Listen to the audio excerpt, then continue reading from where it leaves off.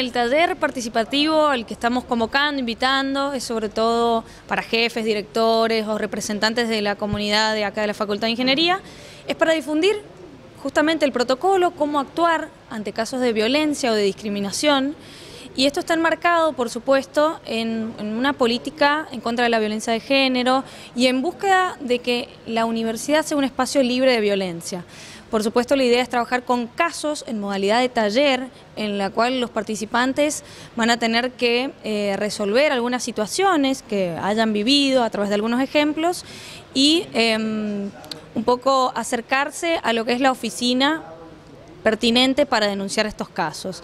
Así que bueno, la invitación eh, ha sido abierta también para estudiantes, estamos trabajando en un espacio que es horizontal y bueno, esperamos que esto se replique también en otras facultades. En realidad yo fui convocado eh, hace un tiempo para esta instancia, en virtud de algunas experiencias que tuve con la oficina pertinente, con la oficina de violencia que tiene la Universidad de San Juan.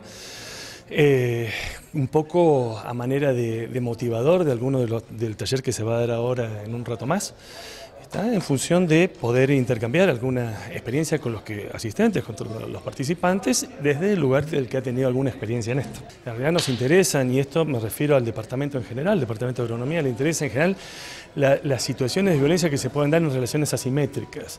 En principio esto involucra, obviamente, a las violencias de género, que tiene que ver tanto con situaciones de violencia entre alumnos como entre, ya no entre pares, sino entre lo que serían miembros de una relación asimétrica como pueden ser profesores y alumnos en este caso, o digamos jerárquicos con respecto a, quienes son, digamos, la gente que trabaja con ellos. Está, todos ese, ese tipo de violencias se dan.